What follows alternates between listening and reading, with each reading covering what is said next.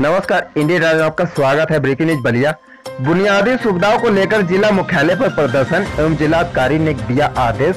उत्तर प्रदेश बली ज़िले में सुखपुरा थाना क्षेत्र के जगदीशपुर गाँव के लोगों ने बुनियादी सुविधाओं को लेकर जिला मुख्यालय पर प्रदर्शन किया। द्वितीय शनिवार का अवकाश होने के नाते डीएम कार्यालय बंद था। लिहाजा ग्रामीणों ने डीएम आवास पर पहुंचकर प्रदर्शन किया। आ, नाम बताइए। कहाँ के रहने वाली है? जगदीशपुर जी। क्या मामला है? आज देखें सैकड़ों की जनसंख्या में जिलाधिकारी कार्यालय के साथ आवाज़ के सामने घेराव किए थे।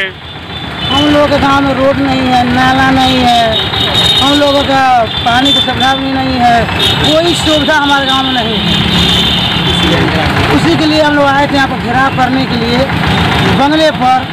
तो डीएम साहब ने बोला कि ठीक है जाइए पंद्रह दिन के अंदर हम काम करा देंगे। जी।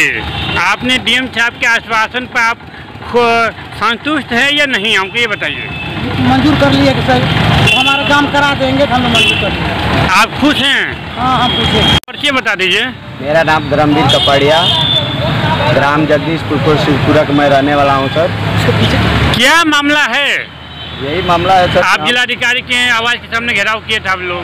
सर हम लोगों का यही मामला है कि हमारे गाँव में न रोड है न सोलर का व्यवस्था है न नाली का व्यवस्था है। किसी गाँव में हम लोग जाते भी हैं रास्ते पकड़ के हम लोगों को मारा जाता है। गाँव में या बस्ती? बस्ती में। कितनी आबादी होगी? उसमें एक हज़ार आबादी है सर। जी। उसमें कुछ काम? उसमें काम कुछ नहीं हुआ है सर। क्या जो केंद्र सरकार की योजना है या प्रदेश सरकार की योजना है आपको नहीं मिला आप लोगों को? नहीं सर नहीं मिल रहा है।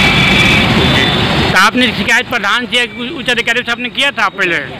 बहुत दिन पहले सर हम लोग जाके एक बार बाढ़ टीम में धरना दिए थे लेकिन इस ये लोग कोई सुनवाई नहीं जी आज आप लोग जिलाधिकारी महोदय से मुलाकात तो आपसे हुई? हाँ क्या हुआ? जिलाधिकारी महोदय ने क्या बोला आपसे?